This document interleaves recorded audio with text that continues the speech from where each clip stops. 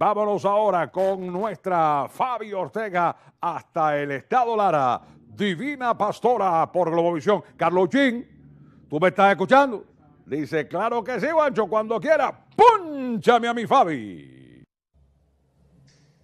Hola, ¿qué tal? Un gusto saludarles. El equipo de Globovisión continúa en Lara, particularmente en Barquisimeto, para dar cobertura a toda la programación enmarcada en la visita número 165 de la Divina Pastora. A esta hora me encuentro en compañía de Monseñor Víctor Hugo Basabe, administrador apostólico de la Arquidiócesis de Barquisimeto. Monseñor, comentarnos sobre sus expectativas en, esta ocasión muy particular luego de dos años de restricciones por la pandemia del COVID-19, pero también enmarcada un ambiente de sinodalidad donde la Iglesia camina junto a sus feligreses. Bueno, las expectativas son altísimas, como tú lo acabas de decir, teníamos dos años sin realizar la peregrinación de la Divina Pastora. Esto es un momento de reencuentro del pueblo con su madre, de los hijos con su madre y de los hijos como hermanos también. Y precisamente la peregrinación de la Divina Pastora lo hacemos en el contexto de esta invitación que nos está haciendo el Papa a renovarnos desde la sinodalidad, que implica encontrarnos, que implica escucharnos, que implica dialogar y que implica que caminemos juntos. Yo creo que no hay mejor imagen que la peregrinación de la Divina Pastora para mostrar lo que debe ser la Iglesia. Un pueblo que camina en la fe, un pueblo que camina en la esperanza y un pueblo que se abraza en la caridad. Hay mucha alegría alrededor de esta 165 peregrinación por el hecho de este reencuentro y por lo tanto nos estamos preparando con todo y nos estamos preparando pues con todo el mayor entusiasmo y con todo cuanto podemos para que sea un momento inolvidable para todos. Monseñor, ciertamente usted resalta esa palabra clave, reencuentro. Le consulto, ¿quiénes entran en el rebaño de María? Todos, porque todos estamos llamados a descubrirnos como hijos de Dios.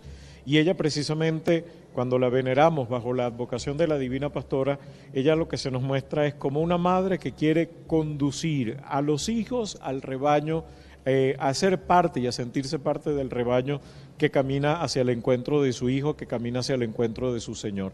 Y en ese sentido todos cabemos en los brazos de María y a todos ella quiere guiarnos hacia el encuentro con su Hijo porque sabe que es guiarnos a la alegría, porque sabe que es guiarnos a la felicidad plena. Monseñor, este peregrinaje es considerado como al menos el tercero más grande del mundo, esto después de, de las fiestas, digamos, de la Virgen de Guadalupe en México y de la Virgen de Fátima en Portugal. Usted además es del Zulia, donde también se conmemora la advocación mariana de la Virgen del Rosario de Chiquinquirá.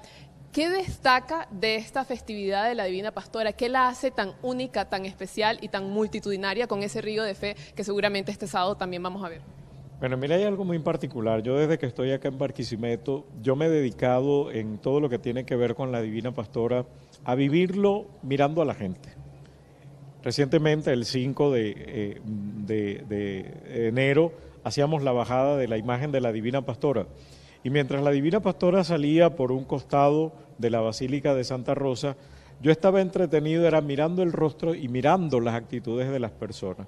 Y llegué a pensar muy dentro de mí, me da la impresión que en la información genética de los larenses y particularmente de los, de los barquisimetanos, la Divina Pastora como que está metida. Es algo muy, muy especial hay una relación muy particular. Los zulianos, pues, con nuestra chinita tenemos una relación muy particular. Yo siempre he dicho, cuando uno está a las puertas de la Basílica de Chiquinquirá el 18 de noviembre, en el momento que la imagen de la chinita se asoma a las puertas de la Basílica, ahí uno sabe lo que significa ser zuliano. Bueno, es lo que yo veo también acá en el estado Lara. Lo que significa ser barquisimetano. Lo que significa ser barquisimetano. Y el barquisimetano contagia verdaderamente esa fe, esa devoción, y la ha extendido por toda Venezuela y más allá de los confines de Venezuela. Porque fíjate que la Divina Pastora es una advocación de la Virgen que es universal, porque ha sido dada a conocer pues, por los frailes capuchinos por donde quiera que han pasado. Pero ya en América Latina la Divina Pastora no se celebra el 8 de septiembre, sino que comienza a celebrarse es el 14 de enero por tantos venezolanos que han emigrado y que están celebrando la Divina Pastora.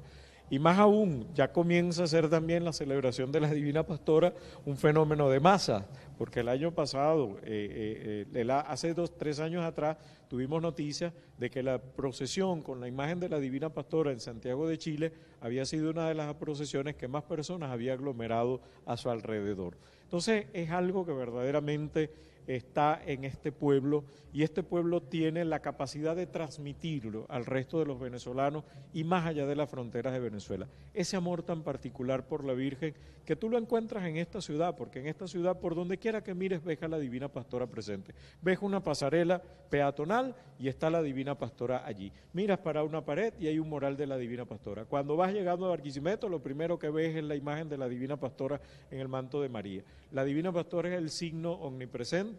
Yo le decía a alguien, mira, yo cuando voy a confirmar, estoy siempre seguro que me van a presentar a un José Pastor o a un María Pastora para que lo confirme, porque está, es parte del ADN prácticamente de este pueblo. Y además donde esté un barquisimetano, allí estará la Divina Pastora. Monseñor, agradecida por su tiempo, apremia además en, en, medio de estas pautas televisivas, pero no quisiera cerrar sin la proyección para este año. ¿Cuántos peregrinos esperan recibir? Bueno, se está esperando que solamente en turistas, es decir, en personas venidas de otros, de otros lugares de Venezuela y del exterior, tengamos la visita de al menos dos millones y medio de personas. Eso significa que la peregrinación pudiera llegar a tener cuatro millones, cinco millones de personas. Sería una cifra récord. Sí, Bien, y nosotros acá en Globovisión estaremos atentos a toda esta festividad desde Barquisimeto, Estado Lara, a propósito de la solemnidad de la Virgen de la Divina Pastora. Por lo pronto es el aporte que puedo ofrecer a esta hora en